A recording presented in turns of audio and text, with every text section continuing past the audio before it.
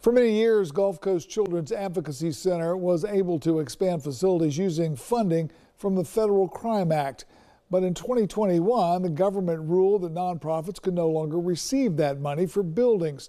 As News 13's Jared Sellers tells us that ruling left the CAC struggling to pay for two facilities here in Bay County.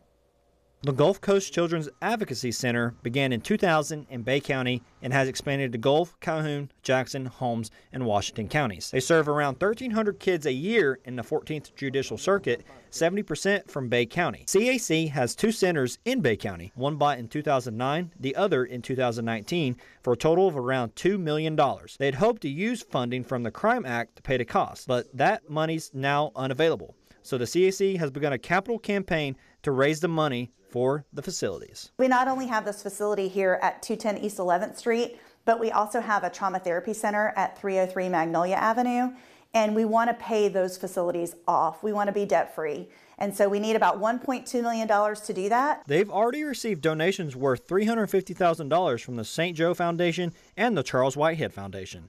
But every dollar counts. We want to get the word out that even if you cannot write a check for $100,000, your $5 could be forever. If we take $5 and compound it to the almost 200,000 people that live in our viewing area in our community that benefit from the CAC's presence, then we can pay off these buildings. The facilities are crucial to the CAC's mission. Here in Florida, 38% of women and about 29% of men will be victims of domestic violence by a family member or a partner in their lifetime. Victim advocate Brittany Perello says she has seen a lot of growth with her patients. Getting to see um, a lot of kids who are here at the very beginning, um, sometimes going through one of the most difficult days of their life, um, and getting to see them even just the little wins as they go. Whether it's six months down the road, a year down the road, um, just getting to see them grow and blossom and heal, um, even within their families, is a really cool,